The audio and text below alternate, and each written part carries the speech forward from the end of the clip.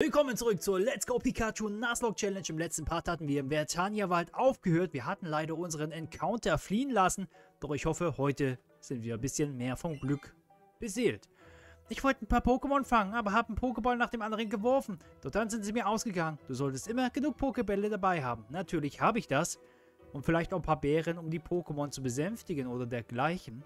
Hier gibt es so schöne Pokémon, Pikachu, Smetbo, die ganzen Käfer, ja, die machen echt Laune, aber leider sind die uns nicht gegönnt. Ich habe das jetzt nochmal ein bisschen geübt. Ich spiele jetzt auch hier mit einem Stick und habe den in der Hand. Damit lässt es sich tatsächlich ein bisschen besser werfen. Und jetzt kämpfen wir aber erstmal gegen diese Göre hier. Das Team ist durch das Probieren ein bisschen aufgelevelt worden, aber noch bei weitem nicht zu krass. Ähm, Entschuldigung, weißt du, ob es in diesem Wald Bisasam gibt? Ob die hier leben. Ja, die soll es hier tatsächlich geben. Man soll hier tatsächlich Bisasam, wilde Bisasam fangen können. So war es mir zumindest. Aber die sind, glaube ich, ganz selten. So, sie hat ein Pokémon, sie hat einen Nidoran. Und wir haben Überbiss an der Stelle Nummer 1. Mit Radfratz treten wir hier an. Das ist auf Level 6 gegen Level 4. Das passt erstmal so. Ja, wir haben hier Tackle und Ruckzuckhieb. Tackle 40er Stärke, Ruckzuckhieb auf 40er Stärke. Da machen wir den Ruckzuckhieb, der hat immerhin die Priorität. Und er macht okay einen Schaden. Kratzer ist okay, halten wir sowas von aus. Also erstmal alles klar. Aber ich muss sagen, es macht zum größten Teil macht das Spiel wirklich Laune. Bis auf die ganze Fangmechanik macht das hier wirklich Laune. Ist eine sehr, sehr angenehme Grafik. Macht auch extrem Bock, hier die ganzen alten Pokémon zu sehen. Also da geht einem wirklich das Herz auf. Da hier fühlt man sich richtig wohl. Bis jetzt überwiegt das Positive, ja, bis halt, also bis halt der Fangmechanismus ist irre nervig, aber gut, das kann man jetzt auch nicht ändern. Hier haben wir Tipps für Trainer. Entferne einen der Joy-Con-Controller von der Konsole und schüttle ihn. So kannst du mit deinem Partner-Pokémon spielen. So, gab es hier jetzt noch irgendwas? Ne, hier waren nur wilde Pokémon, alles klar, sonst nichts weiter. Dann schreiten wir auf dem Weg weiter voran. Mal schauen, was denn jetzt hier noch so kommt. Der nächste Trainerkampf ist schon nicht mehr fern. Aber wir haben jetzt zwei, die Wege splitten sich schon wieder, aber treffen sich dann dort wahrscheinlich. Das wäre jetzt die Abkürzung hier, deswegen müssten wir hier wahrscheinlich kämpfen. Hey, wahre Pokémon-Trainer drückt sich nie vor einem Kampf. Da sagst du wahre Worte hier, deswegen bin ich ja auch hier. Wir kämpfen jetzt erstmal schön entspannt gegen Käfersammler Theo. Ein Pokémon, ein Korkuna, hat er dabei. Ja, und auch das wird uns jetzt nicht sonderlich gefährlich. Gehe ich doch mal einfach davon aus. Level, das ist auch Level 3, ne? Das ist Level 3. Ich denke, das kann uns gar nicht viel. Ich weiß nicht, kann, Härtner, Härtner. Härtner ist so der klassische Move von Safkon und Kokuna. Ob es noch irgendwas anderes drauf hat, vielleicht Fadenschuss. Aber mehr dann auch wirklich nicht. Erstmal macht es weiter Härtner. Was macht Härtner? Erhöht die Verteidigung, oder? Ja, die Verteidigung steigt. Okay, das heißt, wir machen mit unseren physischen Angriffen weniger Schaden. Ja, man sieht es jetzt tatsächlich. Der Härtner-Spam ins Unermessliche. Steigt immer plus 1. Jetzt ist es also schon auf plus 4, oder? Ne, plus 3. Es ist auf plus 3 in der Verteidigung. Alles klar. Es wäre vielleicht ratsamer, hier einen speziellen Angreifer reinzuschicken. Aber haben wir jemanden, der speziell angreift? Aber, also hier. Warte mal, kann ich mir irgendwie die, die Stärke der Moves ansehen? Ne, das geht hier. Attackeninfos Y. Säure ist Spezial. Sieht zumindest so aus. Ich würde jetzt mal Myrapla einwechseln. Und dann probieren wir einfach mal, ob wir damit mehr Schaden machen. Bisschen umständlich hier. Die Steuerung finde ich auch ein klein wenig umständlich hier. Vor allem, es macht es schon schwieriger, wenn man nur mit einem Controller spielen kann. Als mit zwei, so wie man es halt gewohnt ist. So, Säure drücken wir jetzt mal rein. Zack, bumm. Das ist nicht sehr effektiv, aber es hat sowas von gereicht. Die Spezialverteidigung war halt nicht so hoch gepusht wie die normale. Ja, wunderbar. Der Theo ist besiegt. Drei Pokebälle schenkt er uns dafür. Wunderbar. Und das ist hier wäre die Abkürzung. Das wäre die Abkürzung. Wir schauen uns nochmal schnell den Weg hier an. Gab es hier irgendwas? Hätte es hier irgendwas gegeben? Ich glaube bald nicht. Ein Item. Was haben wir hier? Einen Trank finden wir hier. Okay. Ja, die sind uns jetzt in der Nuzlocke nicht, ah, die sind jetzt nicht so ultra wichtig. Wir, wir setzen einen pro Kampf ein, maximal, wenn überhaupt. Sonst versuchen wir das Ganze ja natürlich eher zu meiden, um das Ganze spannend zu halten. Aber die ersten Kämpfe sind ja jetzt hier noch nicht wirklich fordernd, aber ich hoffe, das wird dann, das Level steigt dann rasch an. Pikachus gibt es hier natürlich auch. Wir haben zwar eins, auf unserem Rücken, aber trotzdem immer wieder geil. Wir können unser Pikachu, ich weiß nicht, das können wir glaube ich nicht entwickeln, oder? Soll ich dir einen Tipp für das Werfen von Pokebällen geben? Ja, mach ruhig, mach ruhig. Ich bin gespannt, was du für einen Tipp hast. So, die Göre Eva. Mit Taubsi. Okay. Ja, Flug-Pokémon. Was für Level? Kann das schon Flugmoves? Hätte das eventuell was drauf? Das Level 4, wie auf Level 6. Radfratz. Noch 14 KP. Ruckzucki. Ja, das ist okay. Es hat Sandwirbel, senkt die Genauigkeit. Es wäre jetzt nur kritisch gewesen, hätten wir ein Pflanzen-Pokémon an der ersten Stelle. Ich, Myrapla ist ja, glaube ich, Pflanze-Gift. Das hätte bei einem Flugruf ein bisschen wehtun können, aber so ist das Ganze vollkommen okay. Wobei Taubsi jetzt, denke ich, noch nicht irgendeinen Flugmove auf Level 4 beherrscht. Da sind wir jetzt erstmal safe am Anfang. Ja, das ist Anfangsgedudel. Das ist noch alles sehr vertretbar. Wird noch nichts wirklich brandheiß gefährlich. Aber später dann umso mehr. Also spätestens Pokémon-Liga ist die Kacke, denke ich, richtig am Dampfen. So, aber ich würde jetzt auch keine weiteren Pokémon erstmal fangen, so zum Leveln. Ich habe immer noch nicht geschaut, welches Level der Arena-Leiter hat. Deswegen, ich will es jetzt erstmal nicht übertreiben. Das müssen wir herausfinden. Aber dann halt nicht mit einer Niederlage. Halt, da gucke ich dann, da schaue ich dann halt mal kurz zuvor. Bevor wir in die Arena gehen, was für ein Level der hat. Ich, also man levelt hier mit dem Fangen, mit dem Fangen von Pokémon echt schnell. Vor allem, wenn man die großen und kleinen Pokémon einfängt, mit dem EP-Multiplikator geht das echt ab wie sonst was. Tipps für Trainer. Du kannst dein Pokédex jederzeit von Professor Eich in seinem Labor bewerten lassen. Alles klar, danke für die Info. Noch ein Fight hier im Vertania Wald. Hey, warte, wo willst du denn so eilig hin? Na, ich will in die nächste Stadt und zum ersten Orden. Ich hoffe, der kommt dann bald. Ja, wir sind ja erst bei sieben Minuten. Vielleicht können wir den ersten Orden auch gleich noch durchdrücken. Je nachdem, was das für ein Typ ist. Jetzt kämpfen wir hier gegen Safkon. Vorhin hatten wir Kokuna, jetzt Safkon erleben wir wahrscheinlich den gleichen Härtner-Spam wie vorher auch, aber wir können den zumindest einmal umgehen, die Verteidigung. Okay, es kann Tackle. Es kann Tackle, ja, müssen wir aufpassen, aber wir haben noch 9 KP. Safcon hat jetzt nicht so ultra viel Schaden gemacht. Wir sind ja auch ein bisschen stärker im Level. 7 noch, jawohl, das passt erstmal soweit. Und dann besiegen wir jetzt Safcon. Weil die kleinen Pokémon, die geben halt auch nicht viele Erfahrungspunkte. Aber ich weiß ja jetzt auch gar nicht, welches Level denn die erste Arena hat. Wir können das ja wahrscheinlich bei den Arena-Trainern schon erahnen. Also wir, wir, wir machen jetzt einfach mal weiter hier. Du verlässt jetzt den Vertania-Wald. Auf Wiedersehen. Vor dir liegt Marmoria City. Jawohl. Arenaleiter Rocco sollte hier zugegen sein. Und der Opa muss sich erstmal ein bisschen ausruhen. Hier und dort hast du bestimmt schon mal Sträucher am Wegesrand bemerkt, oder? Wie ich höre, kann man sie mit der geheimen Technik Spaltschnitt zerschneiden und so den Weg freiräumen. Schöne Sache. Je höher die WP eines Pokémon, desto höher seine Kampfkraft. Der Wert setzt sich angeblich irgendwie aus den einzelnen Statuswerten zusammen. Die WP setzen sich aus den Statuswerten zusammen. Weiß nicht. Ist das hier neu in der Edition? Hier gibt es auch noch jemanden. Sagt mir sonst nichts. WP. Es gibt auch einige Pokémon, die ausschließlich in Höhlen und Wäldern leben. Wenn du viele verschiedene Pokémon fangen willst, musst du dich überall gründlichst umsehen. Das mache ich natürlich, Meister. Das mache ich natürlich. So, jetzt Route. Warte mal, wir müssen... Wir waren, glaube ich, schon auf Route 2. Wir müssen mal auf der Karte schauen, weil vor dem Vertania-Wald war doch auch schon Route 2. Einsetzen hier. Karte einsetzen. Route 2, Vertania-Wald, Route 2. Genau, und da hatten wir einen Encounter bekommen. Ich weiß jetzt nicht gar nicht mehr welcher. Aber hier ist, ist uns zumindest jetzt kein Pokémon gegönnt. Wir haben unseren Encounter schon für die entsprechende Route. Wie kommen wir dahin? Ah, hier Zerschneider. Der, der Tunnel hier, ist das Diktas-Tunnel oder so? Mamoria-Tunnel? Keine Ahnung. Können wir jetzt auf jeden Fall noch nicht hin. Mamoria City. Ha, du kommst wie gerufen. Okay, willst du kämpfen oder was? Wusstest du, dass es in dieser Stadt eine Pokémon-Arena gibt, Merlin? Da kann man gegen einen super starken Trainer antreten, der sogenannte Arenaleiter. Gegen einen Arenaleiter zu kämpfen ist zwar kein Zuckerschlecken, aber wenn wir stärker werden wollen, führt kein Weg daran vorbei.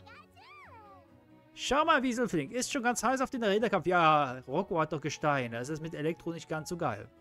Stimmt doch, oder Wieselflink? Ich stehe auf jeden Fall voll hinter euch. Hier.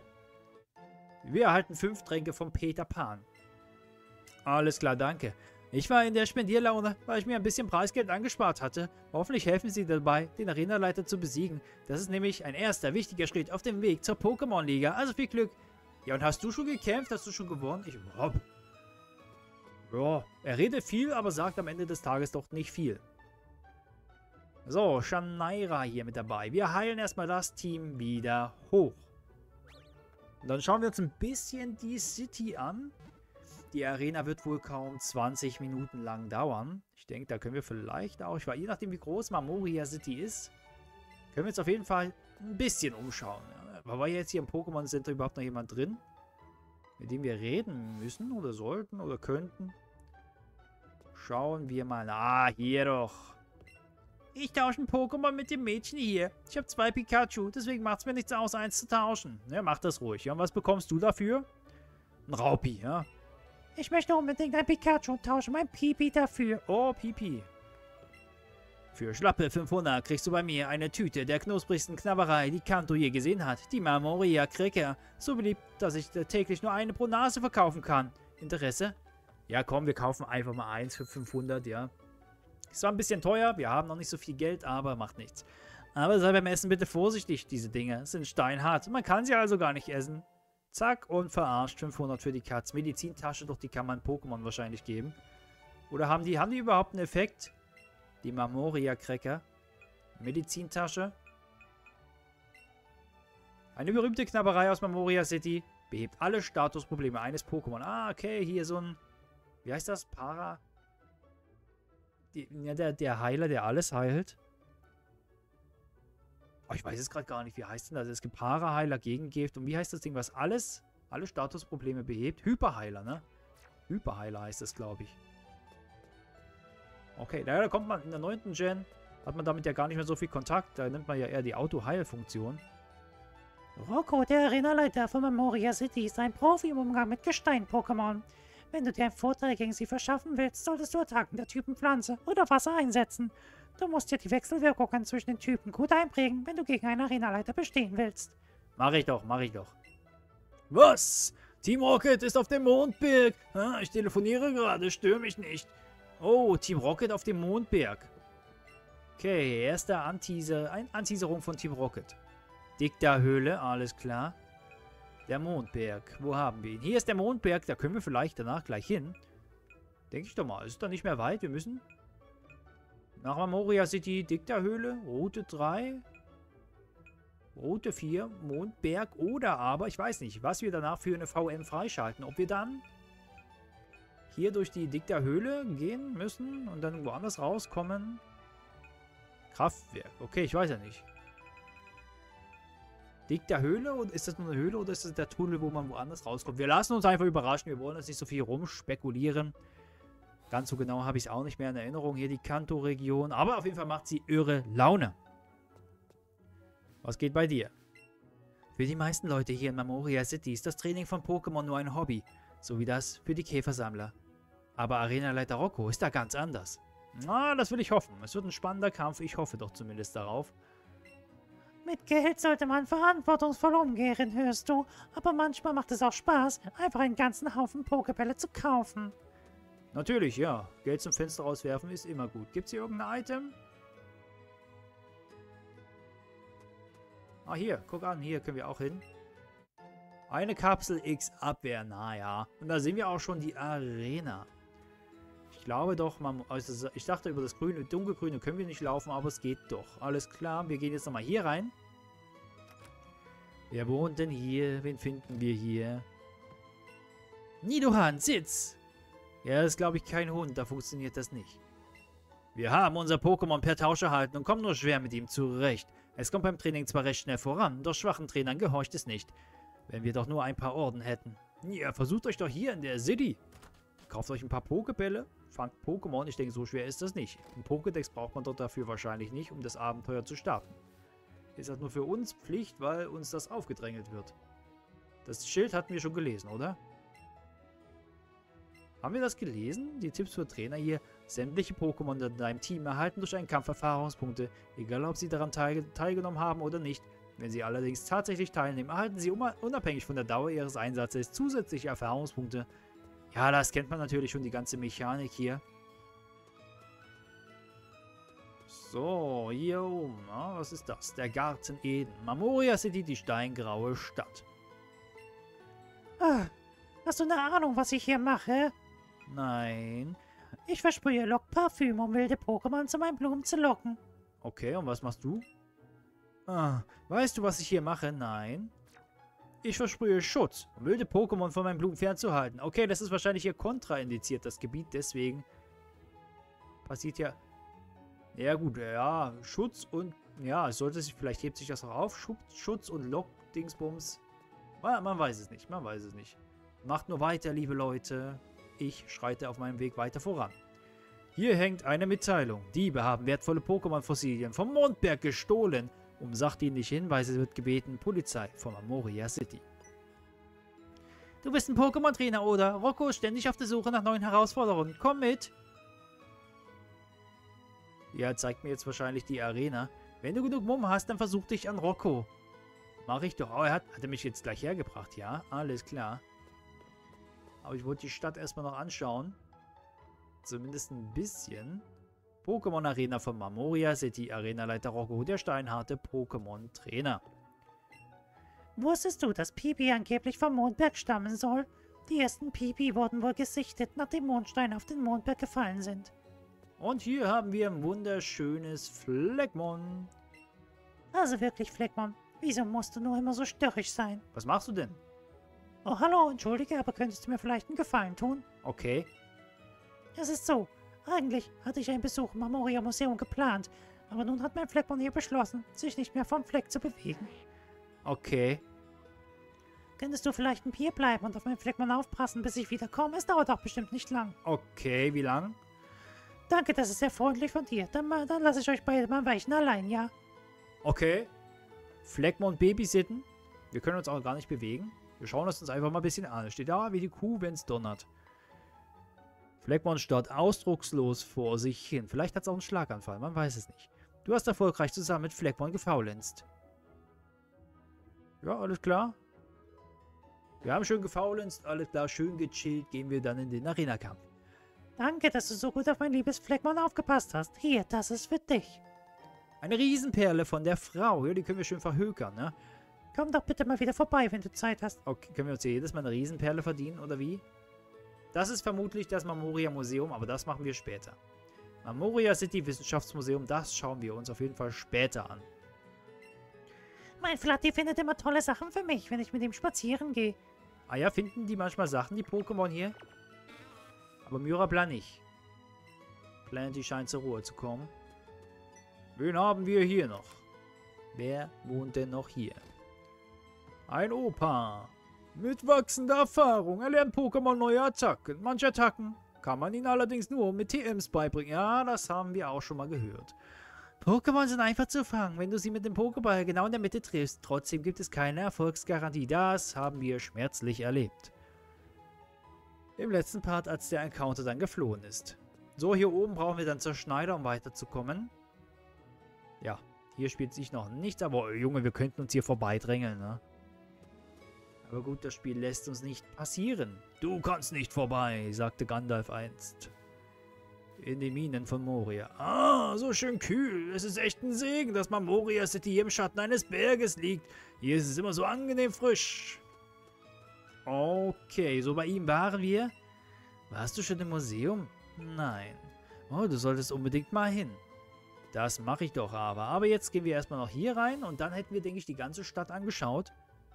Und nochmal mit den Leuten hier reden. Ein zwielichtiger Mann hat mir diese seltsame Pokémon angedreht. Es ist total schwach. Und das, obwohl ich ganze 500 dafür hingeblättert habe. Ja, schön. Ich dachte, du willst mir verkaufen. Ich hätte es genommen. Ich brauche jeden Encounter, den wir kriegen können. Trainiert man seine Pokémon eifrig, können sogar schwache Pokémon für Überraschungen gut sein. Ja, itemmäßig brauchen wir nichts. Pokebälle gab es bisher immer genug geschenkt. Wir sind gut aufgestellt. Und jetzt haben wir alles gemacht. Genau. Wir tauschen nur noch mal im Team hin und her. Wir können nicht mit Überbiss leaden gegen Gestein. Planty wäre halt so meine Wahl, aber der hat halt noch keinen Pflanzenmove, der Schaden macht. Der hat Wachstum, aber noch, ja, Rasierblatt oder so wäre halt geil. Weiß nicht, ob das Ding überhaupt das erlernen kann. Wir schauen jetzt einfach mal in die hiesige Arena von Rocco. Hoffentlich ist er überhaupt zugegen. So, die erste Arena. Oh, mit Zuschauern sogar. Sehr cool. Sehr, sehr cool gemacht hier. Zwei Trainer, die können wir sogar umgehen. Howdy, du willst in der Arena kämpfen, nehme ich an. Ich bin zwar selbst kein Pokémon-Trainer, aber ich kann gut beurteilen, ob jemand das Zeug dazu hat, den Arenaleiter zu besiegen. Also pass mal auf, Freundchen. In der Arena von Mamoria City sind nur Trainer zugelassen, die sich mit den Wechselwirkungen zwischen den Typen auskennen.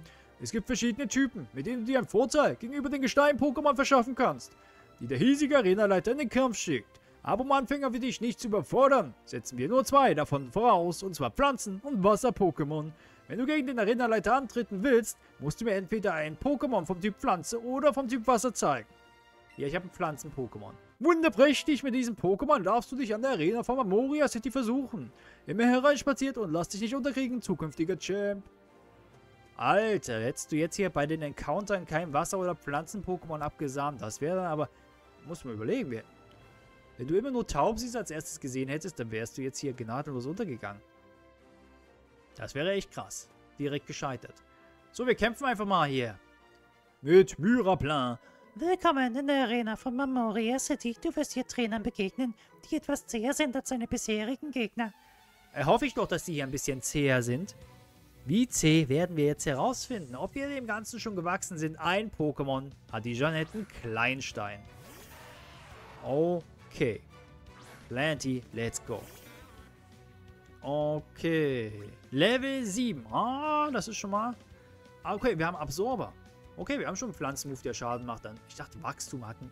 Oder? War Wachstum noch... Alter, gewone-shottet das Ding. Herrlich, wunderprächtig hier. Kleinstein direkt down. Level 8. Wunderbar. Nee, Level 9 sogar. Wir waren Level 8. Wir erreichen Level 9. Herrlich, herrlich, ja. So, damit ist Picknickerin Janet auch schon besiegt. Was hat Planty nochmal für Moveset? Schauen wir uns das hier nochmal schnell an. Level 9, wunderbar. Den Bericht. Wir hätten hier... Wo sind die Attacken? Details, nochmal A. Ah, Wachstum ist normal, genau. Absorber, Wachstum und Säure. Oh, haben wir doch ein schönes Moveset hier mit dem Teil. Wunderbar. Schreiten wir weiter voran. Kommt das nächste Kleinstein. Oder irgendwas anderes. Stehen geblieben, Junge. Es dauert noch Lichtjahre, bis ein Kind wie du gegen Rocco antreten kann. Noch Lichtjahre sind wir davon entfernt. Alles klar, Camper Georg. Mit einem, was war's? Ein Kleinstein, wer hätte es gedacht. Und Rocco hat dann auch einen Kleinstein, oder wie? Aber ich hoffe, der hat noch ein bisschen was mehr. Mindestens zwei Pokémon, wäre gut. So, und wenn die Level 7 sind... Ja gut, ne? Ich, ich hoffe mal, Rocco ist dann einfach stärker als Level... Unser Level 9. Sein stärkstes Pokémon zumindest. Wäre echt cool. Wieseflink auf 10. Aber ich will ja, wie gesagt, nur die Pokémon einsetzen, die schwächer oder auf dem gleichen Level sind wie die des jeweiligen Arenaleiters. Wir probieren es einfach mal. Ah, ein neuer Herausforderer. Ich bin Rocco, der Arenaleiter von Mamoria City. In meinem Pokémon spiegelt sich meine felsenfeste Entschlossenheit wieder. Dank ihrer steinharten Verteidigung geben sie niemals klein bei. Wie du dir jetzt sicher schon denken kannst, setze ich im Kampf voll auf Gesteins-Pokémon. Bei ihnen wird dein Team auf Granit beißen. Aber ich sehe schon, dass du dich davon nicht einschüchtern lässt. Ein echter Pokémon-Trainer schreckt aber vor keine Herausforderung zurück, selbst wenn seine Chancen auf einen Sieg schlecht stehen. Na schön, dann zeig mir, was du kannst. Ich bin bereit und bist du auch bereit? Wir haben die geballte Pflanzenpower hier mit am Start. Myraplan ist einsatzbereit. Er hat zwei Pokémon. Einen Kleinstein schickt er als erstes rein. So, beim nächsten Mal muss ich mich dann unbedingt informieren, ne? dass wir hier vom Level Cap her... Ja, Level 11, das passt. Alles klar, wir sind safe unterwegs. Wir können jedes Pokémon einsetzen. Absorber reinballern. Wir sind schneller. Ist ein One-Shot, ist ein Wort. Jawohl. Erstes Pokémon. Hat er jetzt noch einen Onyx oder sowas? Das wäre cool. Es gibt bestimmt massiv Erfahrungspunkte. Über bis auf Level 7 gezogen. Ein Onyx, ja, tatsächlich. Tatsächlich. Onyx ist also ein strammer Gegner. Level 12. Wir sind drei Level schwächer. Wir absorbieren mal bis Steinwurf. Ja, stabiler Schaden, Kollege. Aber wir heilen uns jetzt wieder Full Life. Alles klar. Alter, so geil. Bisher ohne großartige Schwierigkeiten hier in der Arena. Steinwurf überleben wir. Und jetzt Absorber in den Tod. Das war schon die erste Arena. Das war jetzt echt gut, dass wir hier ein Pflanzen-Pokémon als Encounter hatten. Pflanze oder was, sonst wären wir gar nicht in die Arena gekommen.